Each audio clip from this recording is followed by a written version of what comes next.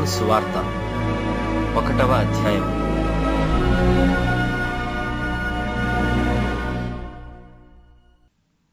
ఆది యందు వాక్యముండెను. వాక్యము దేవుని యొద్ద ఉండెను. వాక్యము దేవుడై ఉండెను. ఆయన ఆది యందు దేవుని యొద్ద ఉండెను. సమస్తమును ఆయన మూలముగా కలిగెను. కలిగియున్నదేదియు ఆయన లేకుండా కలుగలేదు. ఆయనలో జీవముండెను. ఆ జీవం మనుష్యులకు వెలుగయ్యుండెను ఆ వెలుగు చీకటిలో ప్రకాశించుచున్నది గాని చీకటి దాని గ్రహింపకుండెను. దేవుని యొద్ద నుండి పంపబడిన ఒక మనుష్యుడు ఉండెను. అతని పేరు యోహాను. అతని మూలముగా అందరూ విశ్వసించినట్లు అతడు ఆ వెలుగును గూర్చి సాక్ష్యమిచ్చుటకు సాక్షిగా వచ్చెను. అతడు ఆ వెలుగై ఉండలేదు గాని ఆ వెలుగును గూర్చి సాక్ష్యమిచ్చుటకు అతడు వచ్చెను. నిజమైన వెలుగు ఉండెను. అది లోకములోనికి వచ్చుచు ప్రతి మనిషిని వెలిగించుచున్నది. ఆయన లోకములో ఉండెను. లోకం ఆయన మూలంగా కలిగను గాని లోకం ఆయనను తెలుసుకొనలేదు. ఆయన తన స్వకీయుల యొద్దకు వచ్చెను. ఆయన స్వకీయులు ఆయనను అంగీకరింపలేదు. తన్ను ఎందరు అంగీకరించిరో వారికందరికీ అనగా తన నామమునందు విశ్వాసముంచిన వారికి దేవిని పిల్లలగుటకు ఆయన అధికారము అనుగ్రహించెను. వారు దేవుని వలన పుట్టినవారే గాని రక్తము వలననైనను శరీరేచ్ఛ వలననైనను మానుషేచ్ఛ వలననైనను పుట్టినవారు కారు. ఆ వాక్యము శరీరధారి అయి కృపాసత్య సంపూర్ణుడుగా మన మధ్య నివసించెను. తండ్రి వలన కలిగిన అద్వితీయ కుమారుని మహిమ వలె మనము ఆయన మహిమను కనుగొంటిమి. యోహాను ఆయనను గూర్చి సాక్ష్యమిచ్చుచు నా వెనుక వచ్చువాడు నాకంటే ప్రముఖుడు గనుక ఆయన నాకంటే ముందటివాడు ఆయననియు నేను చెప్పినవాడు ఈయనే అనియు ఎలుగెత్తి చెప్పాను. ఆయన పరిపూర్ణతలో నుండి మనమందరము కృప వెంబడి కృపను పొందితిమి. ధర్మశాస్త్రము మోషే ద్వారా అనుగ్రహింపబడెను. కృపయు సత్యమును యేసుక్రీస్తు ద్వారా కలిగెను. ఎవడునూ ఎప్పుడైనను దేవిని చూడలేదు. తండ్రి రొమ్ముననున్న అద్వితీయ కుమారుడే ఆయనను బయలుపరచెను. నీవెవడమని అడుగుటకు యూదులు ఎరూషలేము నుండి యాజకులను లేవీయులను యోహాను అద్దుకు పంపినప్పుడు అతడిచ్చిన సాక్ష్యమిదే. అతడు ఎరుగననక ఒప్పుకొనెను. క్రీస్తును కానని ఒప్పుకొనెను. కాగా వారు మరి నీవెవరవు? నీవు ఏలియావా అని అడుగగా అతడు కాననెను. నీవు ఆ ప్రవక్తవా అని అడుగగా కానని ఉత్తరమిచ్చెను. కాబట్టి వారు నీవెవరవు? మమ్ము పంపిన వారికి మేము ఉత్తరమియ్యవలను గనుక నిన్ను గూర్చి నీవేమీ చెప్పుకొనుచున్నావని అతని అడిగిరి.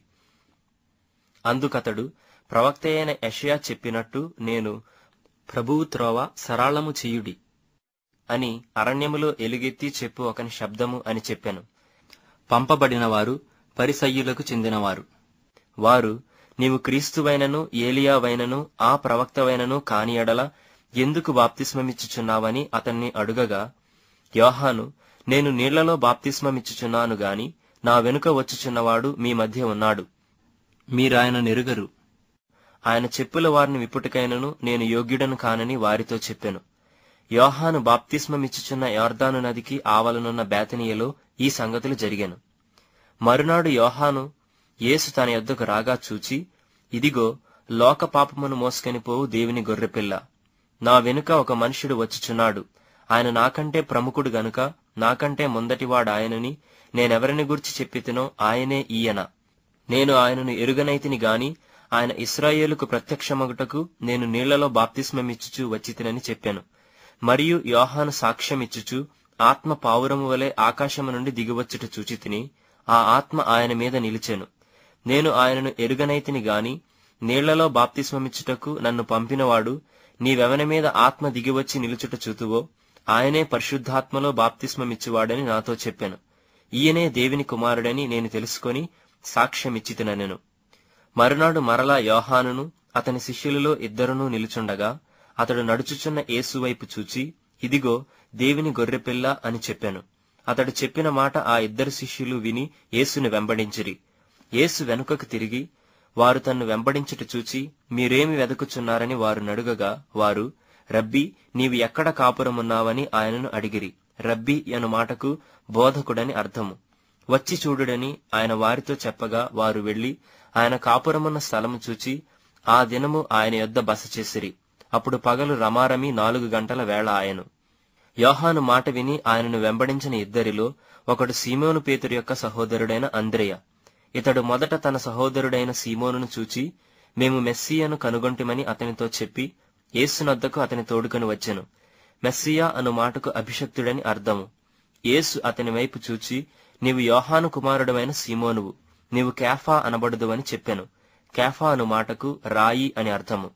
మరునాడు ఆయన గలిలేయకు వెళ్ళగోరి ఫిలిప్పును కనుగొని నన్ను వెంబడించమని అతనితో చెప్పెను. ఫిలిప్పు బ్యాత్సయిదావాడు వాడు అనగా అంద్రియ పేతురు అని వారి పట్టణపు కాపురస్థుడు. ఫిలిప్పు నతనయేలును కనుగొని ధర్మశాస్త్రములో మోషేయు ప్రవక్తలను ఎవరిని గురించి వ్రాసిరో ఆయనను కనుగొంటిమి. ఆయన యోసేపు కుమారుడైన నజరేయుడగు యేసు అని అతనితో చెప్పెను. అందుకు నతనయేలు నజరేతులో నుండి మంచిదేదైనా రాగలదా అని అతను అడుగగా వచ్చి చూడమని ఫిలిప్పు అతనితో అనెను. యేసు నతనయేలు తన ఎద్దుకు వచ్చుట చూచి ఇదిగో ఇతడు నిజముగా ఇస్రాయేలీయుడు ఇతని ఎందు ఏ కపటమును లేదని అతని గురించి చెప్పాను. నన్ను నీవు ఎలాగు ఎరుగుదువని నతనయేలు ఆయనను అడుగగా యేసు ఫిలిప్పు నిన్ను పిలువక మునిపే నీవు ఆ అంజూరపు చెట్టు క్రింద ఉన్నప్పుడే నిన్ను చూచితినని అతనితో చెప్పాను. నతనయేలు బోధకుడా నీవు దేవుని కుమారుడవు. ఇస్రాయేలు రాజవు అని ఆయనకు ఉత్తరమిచ్చాను. అందుకు యేసు ఆ అంజూరపు చెట్టు క్రింద నిన్ను చూచితినని నేను చెప్పినందువలన నీవు నమ్ముచున్నావా? వీటికంటే గొప్ప కార్యములు చూతువని అతనితో చెప్పాను. మరియు ఆయన మీరు ఆకాశము తెరవబడుటయు దేవుని దూతలు మనుష్య కుమారిని పైగా ఎక్కుటయును దిగుటయును చూతురని మీతో నిశ్చయముగా చెప్పుచున్నానను.